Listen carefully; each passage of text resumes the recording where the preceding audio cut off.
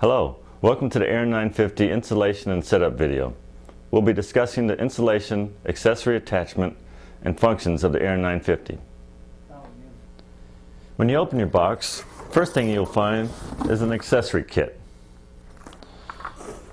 Next you'll find a box of 100 dermal tips, 50 sharp, 50 blunt, and finally the Aaron 950 packed in protective foam. As you open your kit, verify that all accessories are present and inspect each piece for damage. The accessory kit should include the following.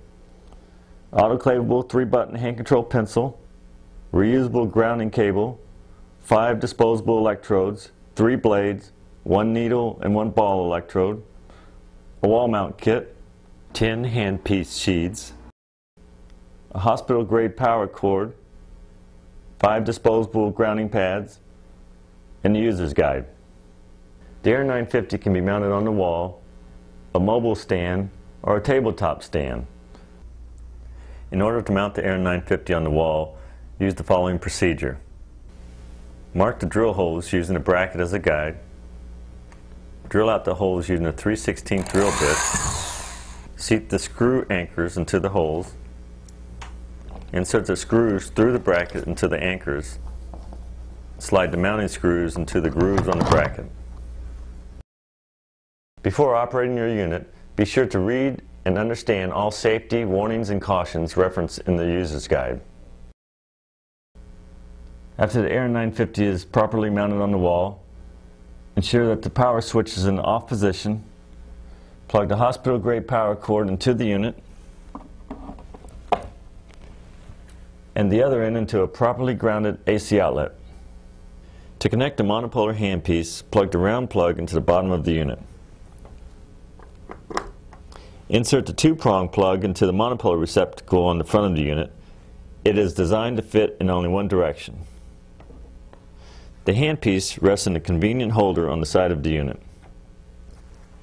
To connect an electrode, simply insert the electrode into the end of the handpiece.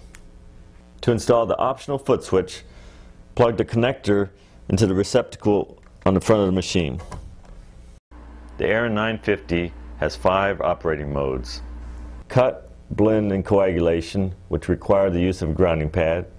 Fulguration and bipolar, which do not require the use of a grounding pad. To properly connect the grounding cable, plug the connector into the patient plate receptacle.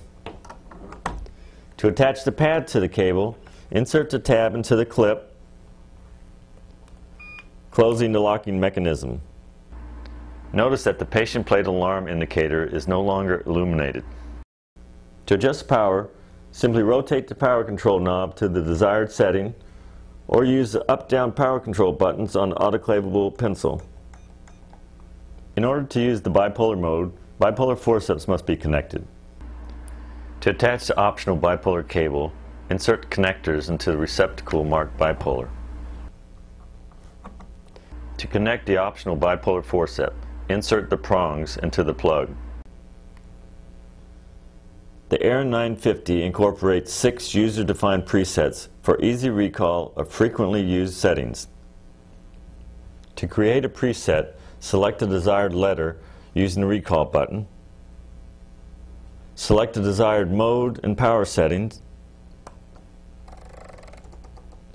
To store the settings, press and hold the set button for two seconds. The preset letter will blink to indicate that the settings have been stored. To recall a user-defined preset, simply press the recall button until the desired letter appears in the display. A blinking red light in the lower right-hand corner of the preset window indicates the unit is not currently operating in a user-defined preset. Your Aaron 950 is now ready for use.